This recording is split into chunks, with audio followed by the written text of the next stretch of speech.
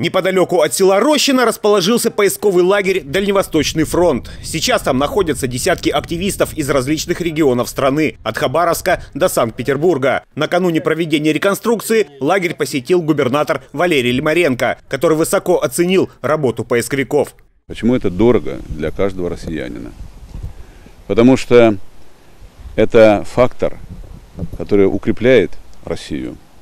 Потому что этот фактор напоминает всем нам и особенно молодежи, что мы сыны великой державы.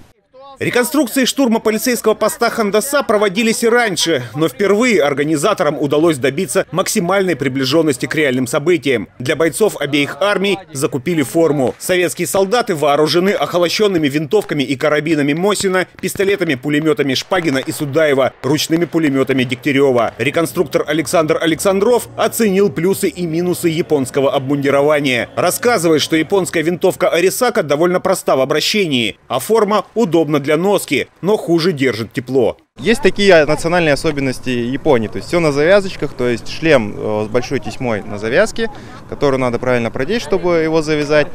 Э, с одной стороны это неудобно, с другой стороны шлем сидит как влитой. Штурм полицейского поста стал знаковым событием в войне с Японией на островах. Именно с него началась Южно-Сахалинская наступательная операция. До этого были разведвыходы, да, были там э, раненые, даже есть у нас убитый один во время одного из выходов. Э, разведчиков. Э, ну вот э, в рамках официального, скажем так, от начала Южно-Сахалинской наступательной операции после того, как наши войска перешли границы, это был первый серьезный бой, который, в котором применялись танки, артиллерия. Во время штурма советские саперы восстановили мост через реку, но главные удары командование нанесло с флангов. Доты забрасывали гранатами. Всего наши войска потеряли более 50 человек. Потери японской стороны около 20. Такое соотношение объясняется тем, что солдаты императорской армии были защищены укреплениями. Многие из них имели боевой опыт во время войны с Китаем. Наши бойцы такого опыта не имели мы не восстановили колючее, ой, это, это минное поле, эскарп противотанковый. То есть это было действительно твердыня неприступная. Здесь еще 12 дзотов было, это только это. 100 человек вот это место э, обороняли.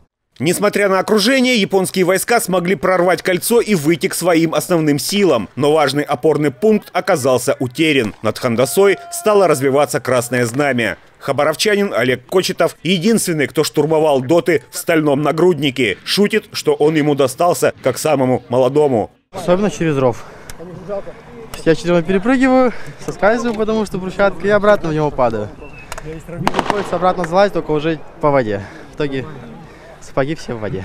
Лагерь Дальневосточный фронт простоит до 12 сентября. Если во время поисков будут найдены останки советских бойцов, то их захоронят на мемориале в селе Победино с оказанием всех воинских почестей. Евгений Коньков, Юрий Рыжов, телекомпания ОТВ.